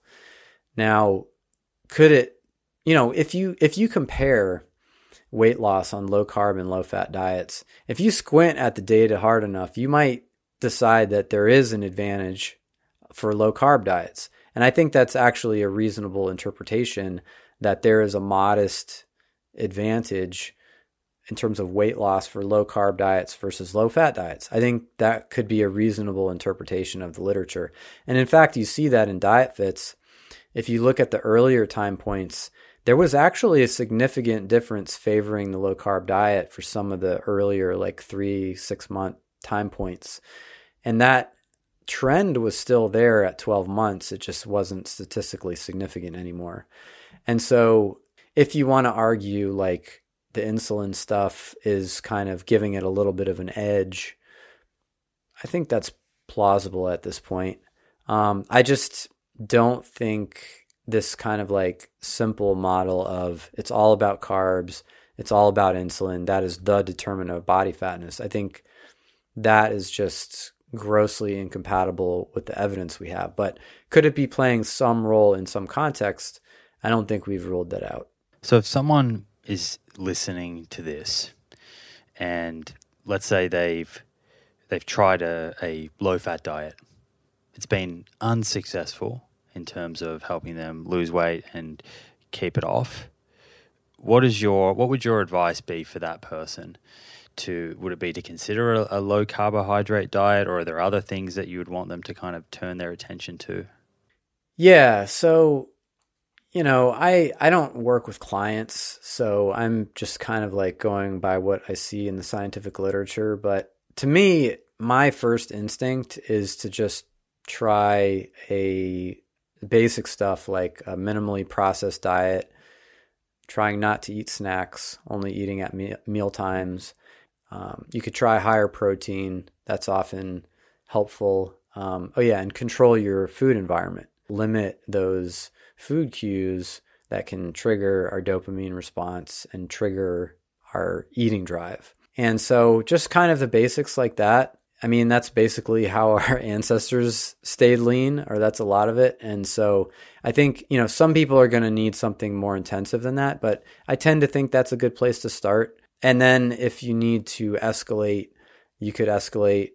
And so you said specifically someone who's tried a low fat diet, it didn't work for them. I absolutely think low carb diet is a totally valid option. I think if you're going to do it, you probably want to tend more toward the unsaturated fat and you know have more whole plant foods in your diet just for in terms of the the other health impacts of it, blood lipids and stuff my intuition would be to say start with those basic things. If you need to escalate to macronutrient restriction, that's absolutely a valid option. Are there any, you know, specific things in the research that have been shown, or specific foods or components of foods that you would say uh, are particularly good at helping someone feel fuller on less calories. You know, strategies with regards to like the order of having your your foods or um, the distribution, whether you're having more of your food earlier in the morning or late at night, right before bed, those kind of things.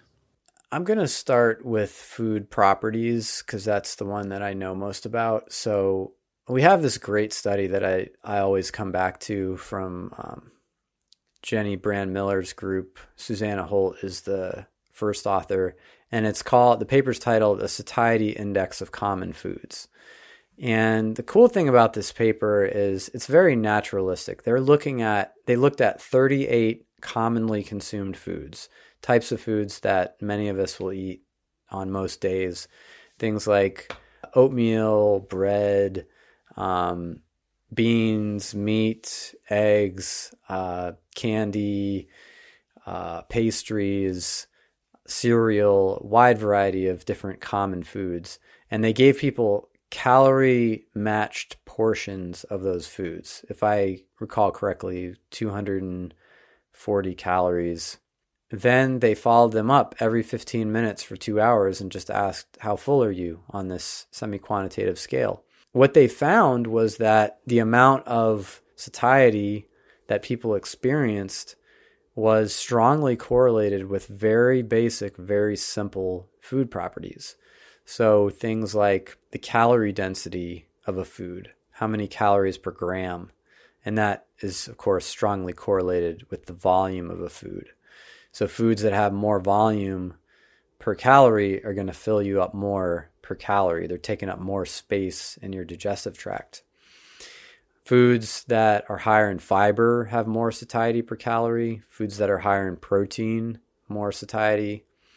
And foods that are lower in palatability, so that, you know, eating pleasure, how delicious it is. The more pleasurable they are, the less fullness you get per calorie. It's like your brain takes the brakes off. Those simple food properties explained most of the variation in how full people felt and after after eating those those foods. And interestingly, they had a follow-up paper where they tested the correlation of other things like blood glucose and insulin levels. So how much people's blood sugar spiked and how much their insulin spiked. So there's this, you know, this idea connected to the carb insulin hypothesis that spikes and you know, falling blood sugar and insulin makes you hungry. So, what they found was there was no correlation at all between the blood glucose response and satiety. And if I'm recalling correctly, the insulin response was inversely correlated to satiety. So, the more insulin a food caused to be secreted, the more filling it was. You know, the, the carb the carbs and the insulin were not at all that hypothesis was not at all supported by that data. Really what was supported is that these very simple physical and chemical properties of the food are the the main drivers of satiety. So yeah, if you're trying to control your calorie intake without feeling hungry, it makes a lot of sense to select foods that have higher satiety value per calorie. So these tend to be lower calorie density, minimally refined and processed foods um, that are more consistent with what our distant ancestors might have ate. I think that part there about the blood glucose, blood sugar, and cravings, that might be um, news to some people because that seems to be quite a trend on, on social media um, at the moment with a lot of people wearing CGMs and trying to uh, avoid a kind of quote unquote spike and then um, post meal low, um, which, as you said, the, there's um, you know been certain people sort of putting forward that that would increase craving. So it's thanks for clarifying that. Um, the other thing that just came up for me there, where you were talking about um, insulin going up, um, makes me think about uh, semaglutide and um, GLP 1 agonists. So perhaps you could kind of explain what these drugs are, why they're um, sort of, I guess, picking up, becoming more popular with regard with regards to treatment of uh, obesity and, and just how they're kind of working. Yeah, sure. So first of all, let me start by saying that I have no conflicts of interest with the pharmaceutical industry. So this is purely my opinion based on the evidence. And my opinion is that these drugs are awesome. so uh, they just are much more effective than anything that came before them, uh, more effective and more safe. GLP 1 is a gut hormone. It is a hormone that's produced by the, primarily the small intestine primarily the distal small intestine. and it travels through the bloodstream, does a few different things, but one of the things it does is it increases insulin secretion to help cover the glucose that you ate in your meal.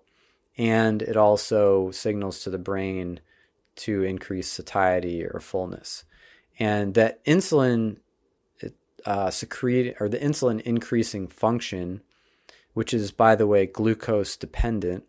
And what that means that is that GLP-1 only increases glucose secretion or excuse me, only increases insulin secretion in the presence of elevated glucose. So it only ramps up insulin secretion when you need it the most around a meal. So that's it's kind of a beautiful thing. It's that's called uh, an incretin hormone because of that, and there's another one, GIP. So yeah, it's secreted by the gut, and that was originally what got researchers interested in it. Is like Daniel Drucker, they found that when you put this on pancreatic beta cells, insulin secreting cells, it makes them secrete more insulin. And so they said, hey, you know, this is pretty interesting. Maybe this could be a treatment for diabetes because you know, that's that's like beautiful. If you're trying to increase someone's insulin secretion, especially around meals, which is when they need it the most, that's exactly the kind of thing you want, right? And so they they uh, patented this um, for diabetes treatment, and eventually in in 2004, um, exenatide, I think it's called exenatide, um, was released as the first anti-diabetic medication made from GLP-1. And at the time, you know, these the initial drugs were not did not cause that much weight loss. Pretty modest. But what um, you know, some of these companies, especially Novo Nordisk, some of these pharma companies got their hands on it, particularly Novo Nordisk, started experimenting with it and started seeing that, well, some variants of this hormone cause a ton of weight loss. And, you know, initially in rodent studies, of course. And, uh, and this relates back to the fact that GLP 1 is a satiety hormone that signals to the brain that, that, you know, there's food in your digestive tract, so slow down on your eating. And basically, through trial and error, they were able to refine these uh, these molecules to create molecules that were much more effective at causing weight loss. And so the first one of these that the, the first one of the latest generation of these GLP 1 receptor agonists, which is what these drugs are called, to be approved for treating obesity was semaglutide. And just to give you a sense of the magnitude of how what effect size this has and how important it is. Typical prior to semaglutide, typical weight loss from intensive, like best in class diet and lifestyle programs at one year was going to be in the range of like 5 to 7%. Weight loss medications were kind of like the better ones were kind of in that in that range. So Semaglutide is causing in randomized controlled trials 15 to 18% loss of body weight. So much larger effect size. And if we use the benchmark of bariatric surgery, which is the most effective weight loss method that we have, that causes kind of like 25 to 30 some percent weight loss. It's like getting up there to almost bariatric surgery levels, weight loss surgery.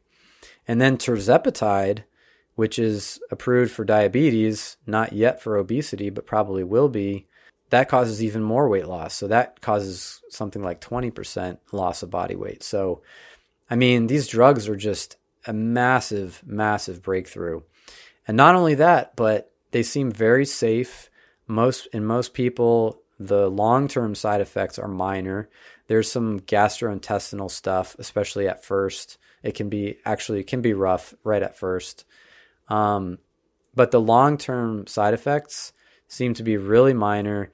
And the biggest side effects are actually positive.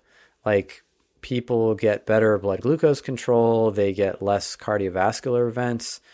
Um, people with type 2 diabetes have reduced all cause mortality. And so these drugs are amazing. And drug development is going at light speed right now in this space. And it's just really cool to see. And furthermore, you know, back to the kind of original topic that got us on this, if you give someone semaglutide or tirzepatide, initially their insulin levels go up. And yet they're losing weight. So they're losing weight, their insulin levels are going up. So this is kind of the opposite so of what the carb insulin model would predict. So you have this compound that's these they act in the brain um, to reduce food intake, and that shows that this brain mechanism is dominating whatever insulin stuff is happening.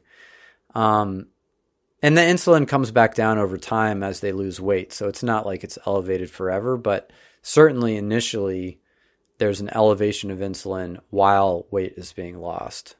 If I'm sort of understanding this correctly, the GLP-1 agonist is acting on the brain to essentially help normalize a dysregulated appetite. Would you say that's is that fair?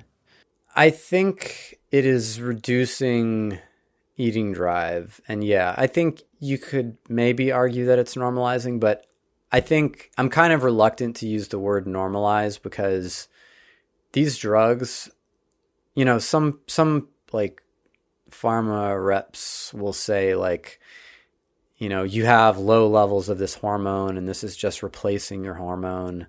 That's baloney. These drugs are ramping up that signal way beyond physiological levels. It's not just a replacement. These drugs are going into the brain and activating GLP 1 receptors way beyond what a normal person would experience. And so, normalize maybe in a sense because you have someone with obesity who has, you know, dysregulated eating habits, maybe excessive eating drive, and then bringing that back down. So it certainly can feel like a normalization. But I think in terms of the physiology of it, it's not really restoring you to normal physiology. It's having a pharmacological effect that is outside of normal physiology. And do you see that as a a, a drug that someone would uh, continue to take for for the rest of their life, or would it kind of depend on what's affecting their hunger drive to eat. And so some people who where it's driven you know predominantly or entirely by genetics they're going to have more difficulty coming off it whereas others if they could work on sort of behavioral aspects at the same time they might have more success coming off. We don't have hard evidence on this. So you know to some extent we'll have to wait and see. But the expectation is that, yes, you will have to continue taking this drug. You know, that's certainly a limitation. We would rather have a drug that you take one pill and the obesity goes away forever. Um, you know, like you might take uh, an antibiotic for, you know, a bacterial infection. But that's not how these drugs work. They're more akin to blood pressure drugs where you your blood pressure stays lower for as long as you take the drug, or cholesterol lowering drugs. You stop one of those drugs and your cholesterol goes back up. Um, and that's what we're seeing in the trials is that when people stop these drugs, their weight goes back up.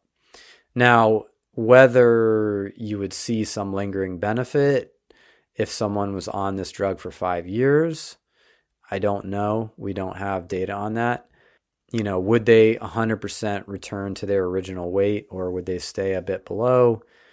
There's some hints that maybe that people might be staying a little bit below even after they discontinue, but we just really don't have answers to that. But again, the default expectation based on uh, diet and lifestyle weight loss is that yes, if you go off the drug, you're probably going to regain. And for people who perhaps are would not be, I guess, indicated for semaglutide. Let's say that they're they're not obese, um, but they're still interested in GLP one, um, and I'm assuming that through diet the the increase in GLP one post meal is nowhere near what it would be from taking semaglutide, for example. But what are the, the are there key components of food that result in this incretin hormone being released? Yes, so it is it can be altered by diet composition to some degree and unfortunately I don't have that on the tip of my tongue so I don't remember what um, that is. But I would say, you know, like don't chase the hormone, just eat food that has been empirically shown to help control calorie intake and body weight. And like, don't worry about GLP 1. You spoke about exercise before, and I made a note to come back to that. So, um, clearly, moving our body is uh, a a process that requires energy. We use energy to to move, so it would um, seem to be something that would impact this energy balance uh, equation and and help promote weight loss or weight maintenance, um, or reduce our risk of becoming overweight. But then there's this sort of constrained energy model from from Herman Pontzer's work. A lot of conversation about that. So, how do you think about exercise when it comes to the individual trying to uh, maintain a healthy body weight or get to a healthy body weight? Yeah, I think as a standalone weight loss method, exercise is pretty mediocre. It's not ineffective, in my opinion. It's just that you aren't generally going to get as much weight loss via exercise as you are by modifying your diet diet is really the main lever over body fatness, in my opinion.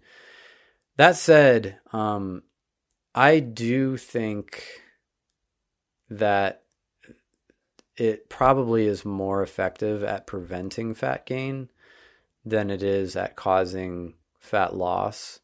And I also think it's probably more effective at maintaining fat loss than it is at causing initial fat loss the evidence that it prevents fat gain, you know, going back to the studies I was talking about with the the junk food diet that Anthony Sclafani did in rats. Well, it turns out in that initial paper in the 1970s, one of the groups got a running wheel. And so there were groups he was comparing that had that both had access to this uh, you know, buffet of human delicious calorie dense foods one of them had a running wheel and one of them didn't. And the running wheel, by the way, you put that into a rodent's cage and they'll use it a lot. They will exercise quite a bit each day on this running wheel voluntarily. And what he found is that the rats with the running wheel did not get as fat as the rats without it. They still got fat, but not as fat. So it attenuated the fat gain on that fattening diet. And that's kind of how I think about it for humans too. There's human data on this as well. And, you know, it's not a home run. Like it, most of it is observational, but what it suggests overall is that regular physical activity can help keep your energy balance in a healthy range. Part of that, at least part of it, is probably that it actually helps regulate your appetite. Essentially, people with low physical activity who are very sedentary, in the observational studies, they have paradoxically elevated food intake. And you see this in rats too, where, where you can really control your variables. So I think there's a decent case to be made that um, physical inactivity causes people to overeat and higher levels of physical activity helps regulate appetite more effectively. Why we would see greater uh, energy intake in someone that's sedentary versus someone who is active, moving their body, and the logical outcome of that you would think would be an increase in energy intake for that person that's physically active. So, what you see in the rodents is that basically energy intake does go up. So basically, if you look at it, if if we're looking at a graph where on the horizontal axis you have um, physical activity level. And then on the vertical axis, we have calorie intake. What you see is that at the lowest levels of physical activity, calorie intake is kind of elevated. And then once they start exercising, it goes down. But then if they exercise more and more and more, it goes kind of up again. So, at least in those particular studies, there was a kind of matching between energy expenditure and intake, but that seems to go out the window at the lowest levels of physical activity. And I don't know why that happens. I am not sure that anybody knows. Um, you know, my just like really high level gut, you know, idea is just that we evolved for physical activity and if we don't get it, stuff just doesn't work right. And one of the things that doesn't work right is our energy regulation systems. So that's probably not very informative, but that's my like simple way of thinking about it right now. Yeah, well, it's interesting. We don't have to have all the answers today, anyway. Um, I just want to change gears here as we get right to the to the end of this. Um, I'm interested with regards to the kind of seductive nature of foods, and I guess how vulnerable we are to um, a food environment where there's a lot of hyper palatable foods. How important do you think mental health is to this? Does being stressed or um, having low mood or being sad, does that like play into being more vulnerable to these types of foods? Uh, I think it does. And I think the direction it can go is very individual. So if you look at survey data, it suggests that people kind of fall into two categories. Some people overeat when they're stressed, and some people undereat. And I think it, it depends on you know, a person who overeats could also undereat under different circumstances. So it's not necessarily that that's what they always do, but that would be what they typically do.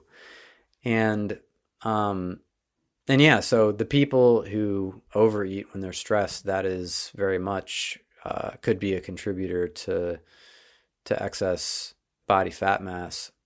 The other aspect of lifestyle that I've seen a few studies looking at sleep deprivation and looking at energy intake, which I thought was really some some quite interesting um, studies. And at least in the short term, from from these papers that I've looked at, it seems that if you deprive someone of sleep, you can increase their calorie consumption the following day. And and some studies even um, went as far as looking at the sort of cravings for different foods, and it seemed like people maybe have sort of a heightened um, craving or appetite for the sort of less healthy foods. How how important do you think sleep is for managing body fat? I don't think sleep is like necessarily an effective, you know, weight loss a standalone weight loss method uh, for someone who are who's looking to lose weight who already has obesity. But I think in terms of explaining why it develops, I think it could be potentially significant. So the studies you described, yeah, if you curtail people's sleep down to five or six hours a night, they eat more. And their brain activity suggests that their motivational drive toward calorie dense foods is increased. And yeah, you see activation of the reward regions and the the energy regulating regions that are kind of activated for this food. And so um, so that's as you said, those are short term studies. You can't do that to people for long. But if you look at the observational studies, they're very consistent with this idea as well. They're the last time I looked, which it's been a few years, there was very very consistent and strong correlations between sleep duration and uh, weight gain over time. So people who don't sleep enough basically are at increased risk of gaining weight over time. So to me it adds up to a fairly convincing picture. You know, we don't have the like home run randomized controlled trial that lasts three years and randomizes people to five versus nine hours of sleep a night uh, and shows differences in body fatness. So we don't have that, you know, home run trial, and we probably never will. But I think the evidence we have uh, really is is pretty supportive. I guess to kind of summarize some of those things that we've spoken about at a, a reasonable depth, but also um, at a high level towards the end here, it seems like if someone is wanting to um, move towards a healthier body weight for them, whatever their goal is, that nutrition is the biggest lever.